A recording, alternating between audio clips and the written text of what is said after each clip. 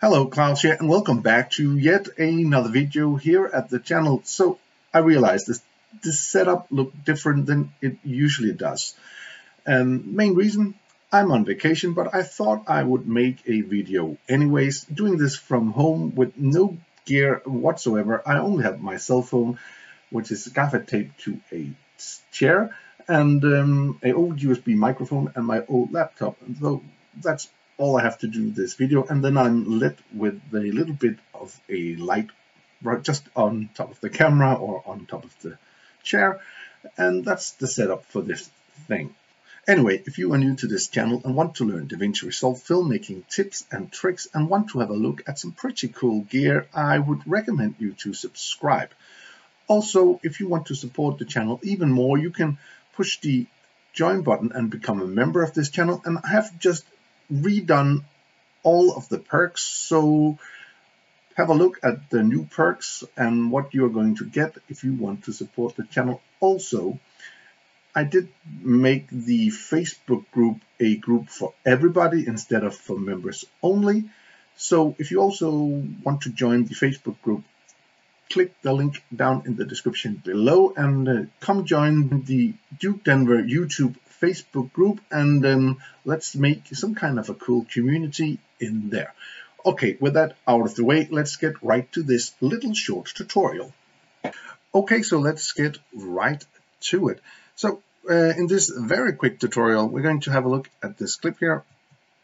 And what you usually would do if you wanted to make a zoom into this clip is that usually you would make a cut like that. Then you would select the clip and you would go into the inspector and then you could, uh, you know, zoom the clip here and do the positions and change that around like so, like that. Now you would have this clip here going into a zoom.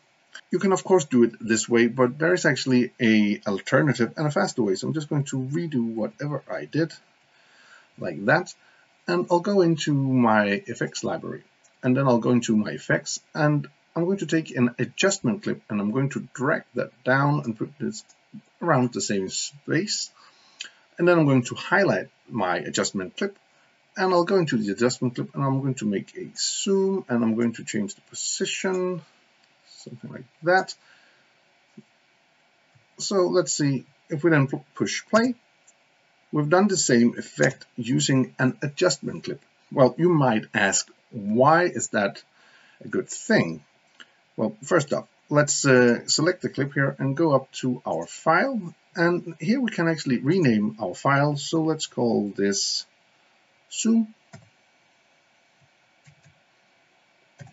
And we can even give it a, a different color if we want to in DaVinci Resolve. So let's say we just want this to be a green color super great. So now if we go up to our viewer, we can actually go in and toggle on the power bins and show that. So those will be selected. So if I go over to my media pool, I have my power bins right here and I can drag this right into my power bin, let go, and I can delete it from here.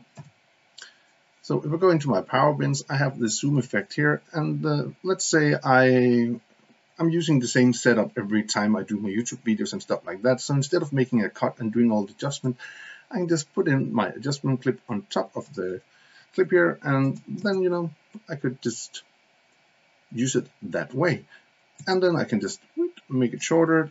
Either I can copy this uh, by selecting it and pushing Alt and drag, and I have one here again. So I can actually make my videos way more alive and way more interesting to watch by using these zoom effects.